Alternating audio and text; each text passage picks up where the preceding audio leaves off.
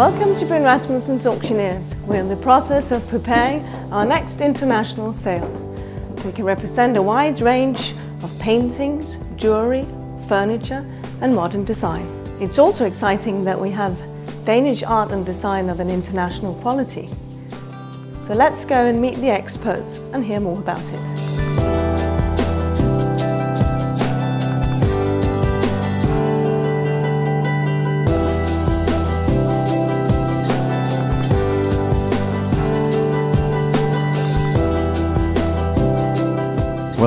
Alexa, I'm quite excited to show you some of our highlights from the upcoming auction. Wow, this really is amazing. Isn't it?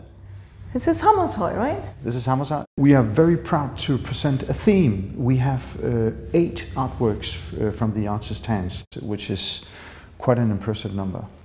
I would say so. Is there one that stands out? There is one. I'll show it. Please, thank you. Well, Alexa, we're standing in front of uh, the absolute highlights of uh, this auction.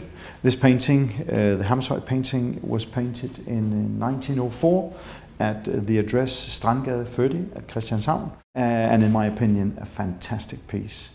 Uh, what makes it a bit unusual is the furniture in the foreground. It might seem a bit heavy, but it's has, it still has this typical Hammershøi lightness due to the background with the architectural lines and also this uh, reading woman. I can definitely see what you're saying. It's, it's very nice. There's a calmness about it. You really feel at ease when you look at the painting. But Hammershøi wasn't just known for his interiors.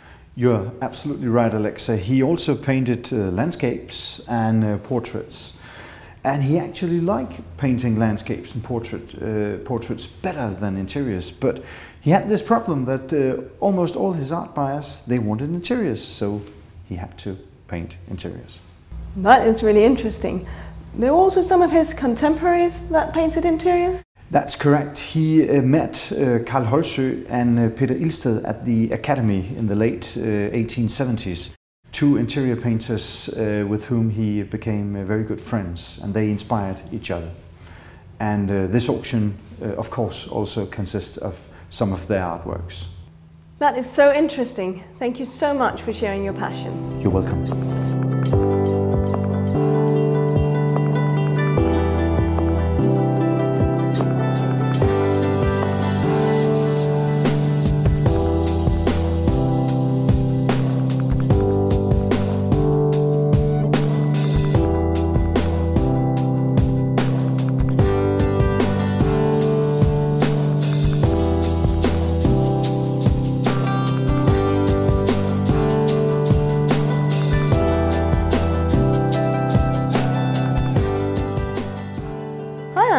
It's quite a selection you have here. Thank you. Yes, it is. These are all pieces made by the Danish cabinet maker Peder Moos.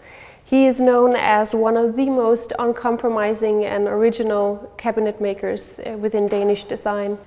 The inlay here is quite extraordinary. Yes, uh, this is what Moos does best. You have the beautiful dark rosewood and then the lighter box tree uh, seat and inlays. And the contrast between the light and the dark wood really brings out what he does best, the inlays and the joinery. So this is actually a perfect example of Moos when he's at his best. This piece was made in 1948 and the same year in the fall, it was exhibited at the Victoria and Albert Museum in London. The exhibition was curated by none other than our own Kåre Klint, and it exhibited Danish art treasures through the ages. 1948, that's just after the Second World War? Yes, it was. It was quite risky uh, endeavor to ship all these things across the North Sea, which was bound to be mined after World War II. Uh, but luckily, everything made it there and back in one piece. That is quite a story. I really wish you the best of luck for the auction. Thank you. Thank you.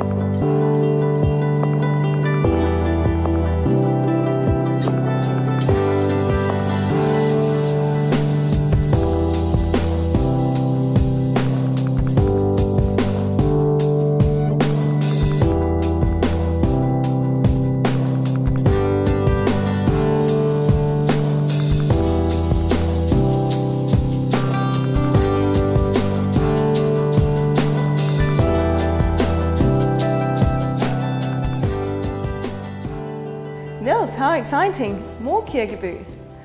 Considering that we just broke the world record not long ago? That's right, it was in the last sale. And in this sale, we have seven other works by Kirkeby. The one we are looking at here, this one is from 1999. And you see the clear reference to the Danish landscape, which has been following Kirkeby during his uh, entire career. So it's, it's a very typical Danish lesser landscape. And how come he's so interested in the landscape? Well, he didn't start off as a painter. As a matter of fact, he graduated in 1964 from the University in Copenhagen as a geologist. And he was very fond of Greenland, so the first works he did was actually in Greenland. And later on, you can see his inspiration from the geologist work in his uh, artistic work. So, Being Danish, it still has a lot of international appeal? Yes, of course. He was uh, in two decades uh, professor, uh, first in Karlsruhe at the Art Academy, and later on in Frankfurt. And he is represented in most museums all over the world, in, from New York to London to Germany, uh, Paris, Tokyo even. He's very well known all over the world. So tell me about the other one.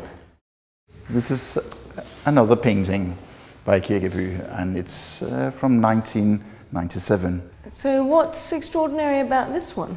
It has a title. Normally, Kirkeby does not give his paintings titles. Normally it's untitled, PK, and then the figure. But this one has a beautiful title. It's a part of a series of about 10 paintings. And uh, we can turn it around and you can see what we have on the other side.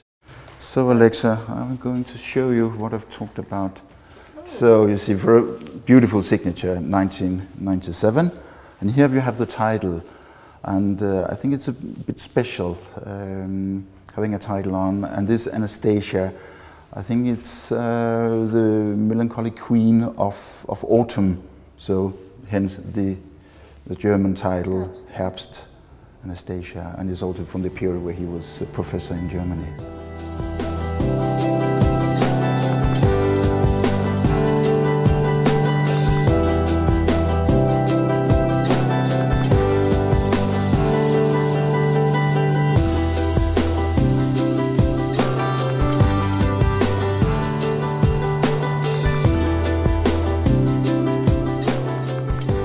I hope you too found this inspiring. I personally find it so interesting when the experts go into such detail. And the Hammershøi paintings, they really blew me away.